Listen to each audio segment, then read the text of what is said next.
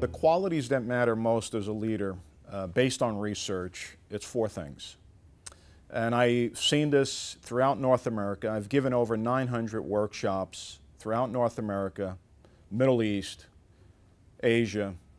And when I meet with uh, great leaders, I've had some great mentors, they're able to deliver on four qualities. And I think all of this will be very evident uh, when, we, when you hear them. Number one, they want us to be completely transparent. So number one is they want, you, they want us to be honest. Because if you don't believe in the messenger, you're not going to believe in the message. And that is about being transparent. It's about being vulnerable. Number two, they want us to be forward looking. They want us to have a vision. Is the future going to be better than where we are today?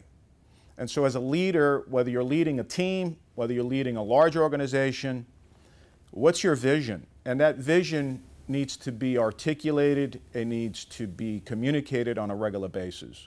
Number three, uh, which is uh, very obvious, but often people don't think about this, they want us to be competent. So, as a leader, again, whether you're leading a very small team of three or if you're leading a large team of 3,000 or 10,000, it doesn't matter. They want us to be competent. And one of the ways that you have to work on being competent, whether you've been in the business 10 years or 30 years, is constantly looking for way, new ways to improve your skills, your knowledge base. And so training, education is paramount in order to stay competitive.